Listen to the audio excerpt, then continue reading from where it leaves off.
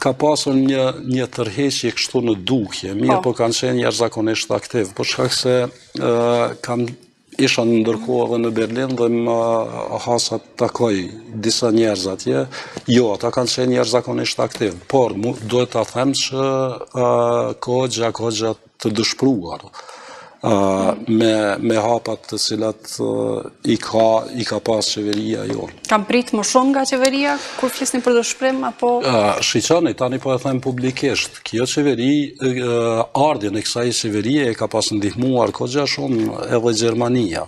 Por e ka ndihmuar pikërisht për shkak se i ka pasur pritjet. Ju e dini që ka qenë këtu një farë perceptimi ndërtuar korrupsioni e tjere.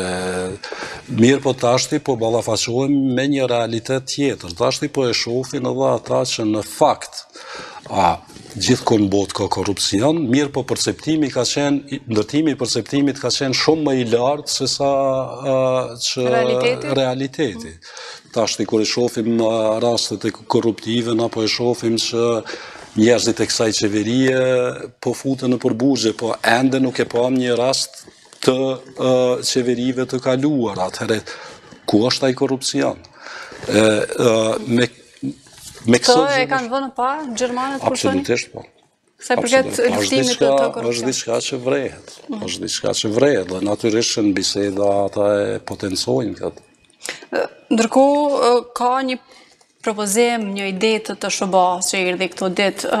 Escobar para kongresit tha që i është ofruar Kosovës një fushatë e njohjeve globale, jo vetëm evropiane, por globale dhe mundësia e antarësimit në organizata ndërkombëtare, krejt kjo në këmbim të përfundimit të çështjes së asociacionit, atë ditë tha që ende s'ka zotim nga qeveria e Kosovës nëse do ta pranojnë.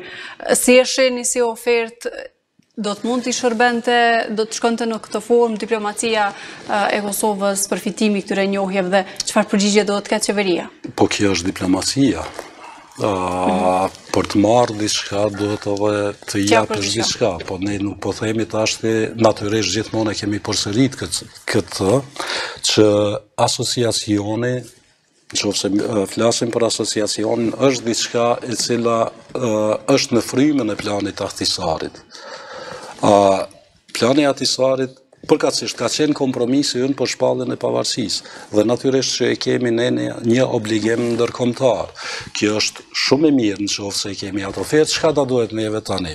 Që të jemi të kujdesshëm që Asociacioni të jetë konform Kushtetutës dhe ligjeve të Republikës së Kosovës. Do të thotë, e rëndësishme është që ajo të mos na devijojë. Përndryshe, ne i kemi një 4% popullësi serbe në Kosovë.